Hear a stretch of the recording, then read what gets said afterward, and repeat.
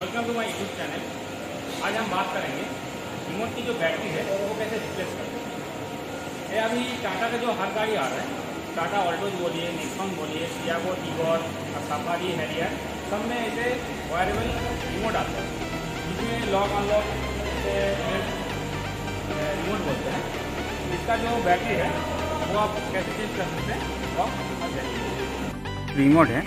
Remote के पीछे side में ये लीड होगा। लीड को बाहर निकाल लीजिए बाहर निकालने के बाद इसका जो खोले हैं, साइड से अब लीड से ये थोड़ा सा पुश करेंगे। इस तरह से तो ये पीछे का ढक्कन खुल जाएगा। फिर यहाँ से इसे निकाल लीजिए निकालने के बाद ये आपको यहाँ पे पैरासोनिक का जो बैटरी है, ये आपको दिखने को मिलेगा। ठीक है, अब इसे कैसे खोलते हैं? इसे थोड़ा सा पतला कुछ ले लीजिए, चाहे स्क्रूड्राइवर लीजिए, ऐसा कुछ भी। इसे थोड़ा सा हल्का सा इसे करके पूछ कीजिए।